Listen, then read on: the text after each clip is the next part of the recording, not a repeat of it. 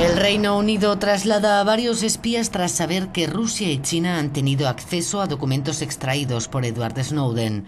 Según el diario británico The Sunday Times, Londres ha evacuado a varios agentes de inteligencia destinados en países considerados hostiles tras conocerse que Rusia y China han logrado desencriptar archivos extraídos por el exanalista de la CIA y de la Agencia de Seguridad Nacional estadounidense.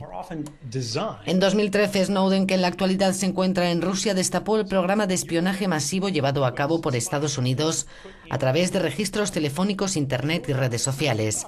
Se calcula que antes de abandonar el país logró hacerse con más de un millón y medio de documentos secretos.